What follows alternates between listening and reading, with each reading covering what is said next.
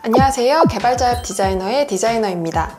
이번 시간에는 코딩이 필요 없는 웹 AR 플랫폼을 사용해서 컨텐츠를 제작해 보겠습니다. 너무너무 쉬워서 딱 5분만 투자하시면 뚝딱 웹 AR 컨텐츠를 만들어 보실 수 있을 거예요. 튜토리얼에 들어가기에 앞서 웹 AR에 대해서 간단하게 설명을 먼저 드릴 텐데요. 우리 채널을 보고 계시는 분들은 AR이 뭔지는 이제 다 알고 계시겠죠? 간단하게 말하면 현실에 가상을 중첩시키는 기술이 AR이죠. 근데 이 AR을 경험하려면 현재로서는 헤드셋 형태의 AR glass를 착용하거나 혹은 모바일을 통해서 AR을 경험할 수 있을 텐데요. 아직은 헤드셋보다는 대부분 모바일을 통해서 AR 컨텐츠를 접해보셨을 거예요. 근데 이 모바일을 통해서 AR을 사용할 때 대부분은 앱을 통해서 컨텐츠를 경험하게 되거든요. 그래서 뭔가 새로운 AR을 사용해 보려면 이 앱부터 다운로드를 받고 설치한 이후에 뭐 그 앱 속에 어떤 메뉴에 들어가서 AR을 활성화 시킨다던가 그런 식으로 컨텐츠를 사용해 보도록 되어 있을 거예요. 그러니까 뭔가 AR을 사용하려면 이 사전 세팅이 필요한 경우가 종종 있는 거죠. 그렇다면 웹 AR은 뭐냐? 말 그대로 웹을 통해서 AR 컨텐츠를 제공하는 건데요. 이 웹 AR을 이용하면 새로운 앱을 다운로드 받을 필요 없이 우리가 기존에 사용하고 있던 Chrome이나 Safari 같은 웹 브라우저를 통해서 AR을 경험할 수 있게 하는 겁니다.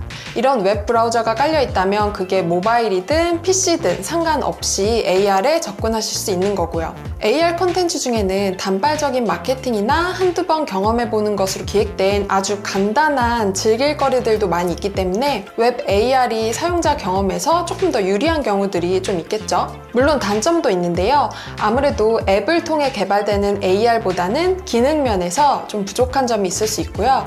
단발적인 이벤트가 아니라 사용자에게 지속적인 서비스를 제공해야 하는 경우에는 제대로 앱을 만들어서 서비스하는 편이 더 적절할 것으로 보입니다. 그래도 요즘은 웹 AR에서도 image tracking, plane tracking, face tracking과 같은 기본적인 tracking 기능들을 모두 사용할 수 있고요. 제작이 간편한 웹 AR 플랫폼들도 많이 나오고 있기 때문에 앞으로 웹 AR의 활용은 더 많아질 것으로 보입니다. 그래서 이번 시간에는 코딩이 필요 없는 웹 AR 플랫폼을 선정해서 간단한 AR 컨텐츠를 만들어 보려고 하는 건데요. 지금 바로 시작해 보겠습니다. 저는 이번에 Zappar라는 회사에서 나온 Zapworks라는 AR 플랫폼을 사용해 볼 건데요. 사실 웹 AR 플랫폼 중에 제일 광범위하게 사용되는 거는 8th Wall이라는 플랫폼일 거예요. 근데 에이스월을 사용하시려면은 기본적으로 웹 기술에 대한 이해도가 좀 있어야 돼요. 저같이 좀 코딩이 어려운 디자이너나 비개발자분들은 에이스월을 사용하기가 어려울 겁니다. 그래서 그 대안으로 많이들 추천하는 게 이 Zappar에서 나온 Zapworks라는 플랫폼이에요. 그래서 구글 창에서 Zappar라고 검색을 해주시고요. 어, 여기는 이제 회사 홈페이지고 여기 Zapworks라는 이 링크를 클릭해서 들어와 주시면 되고요.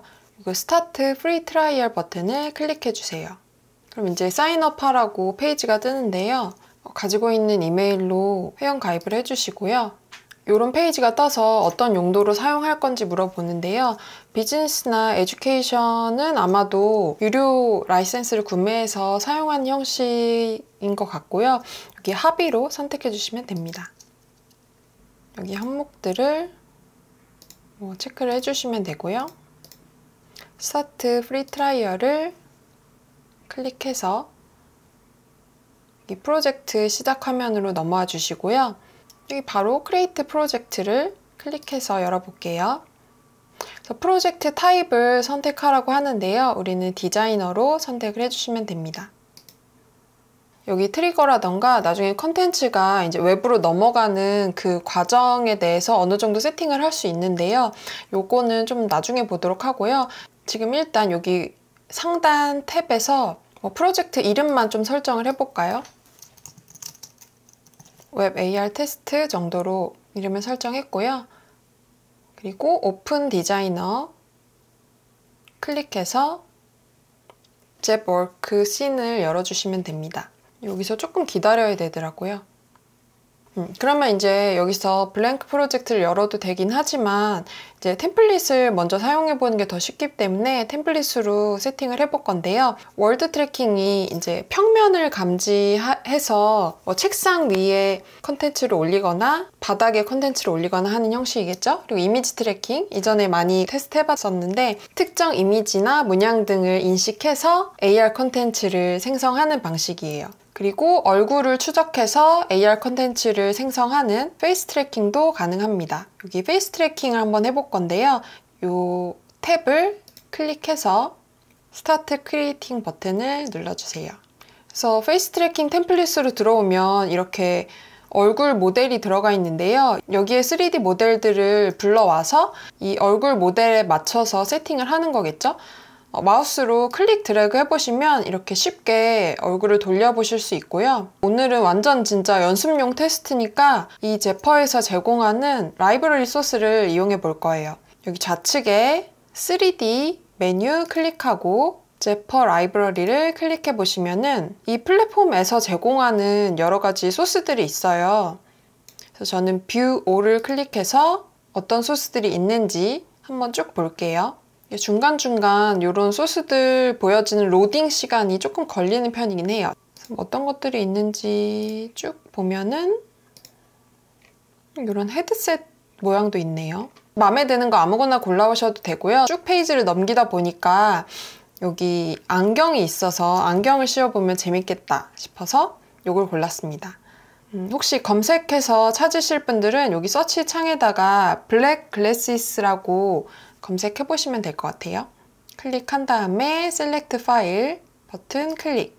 그러면 이렇게 scene으로 안경이 들어왔잖아요. 그래서 지금 안경 소스가 얼굴 모델에 비해서 너무 크게 들어갔죠.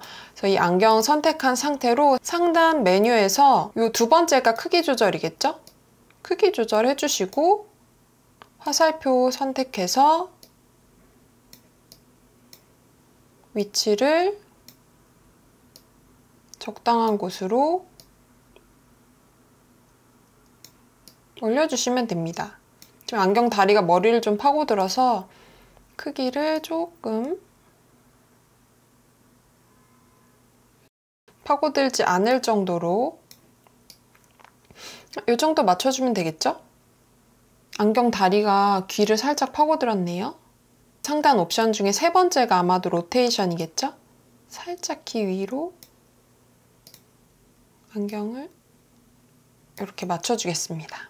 어렵지 않죠? 이 메뉴들이 굉장히 직관적이라서 저도 이 tutorial 제작하기 위해서 한 번 정도 연습해보고 지금 두 번째 사용하는 건데 어, 전혀 막 어려움이 없어요. 이렇게 해서 얼굴 모델에 지금 안경을 씌웠어요.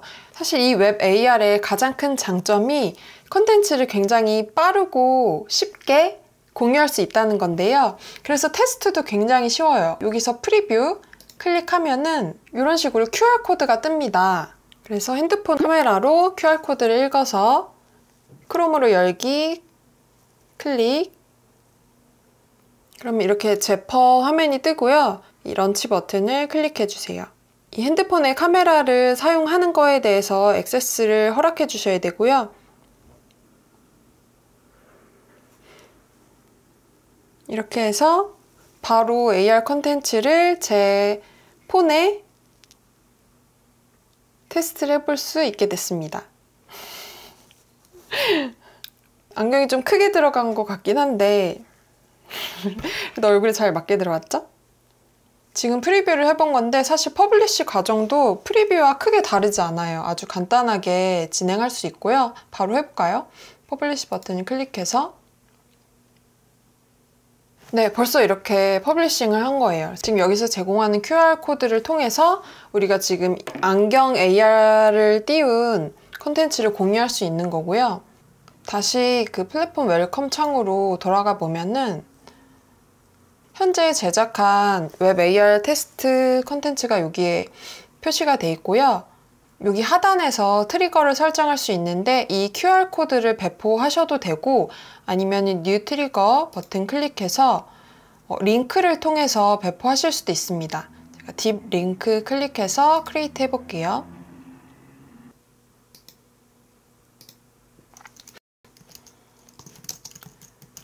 이름 똑같이 수정해주고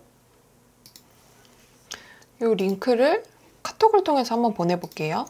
그래서 제 카톡으로 보낸 링크를 클릭했고요. 또 Zappar welcome 페이지가 떴는데 launch를 클릭하고 grant access를 해주면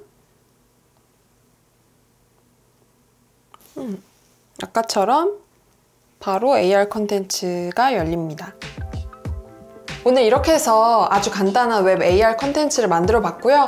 이번 tutorial 반응이 괜찮으면 또 다른 여러 가지 플랫폼들을 이용해서 더 쉽고 빠르게 AR 컨텐츠를 제작하는 방법을 연구해 보도록 하겠습니다. 오늘 배운 내용 진짜 5분만 투자하면 해보실 수 있으니까요. 각자 테스트 해보시고 다양하게 또 응용해 보세요.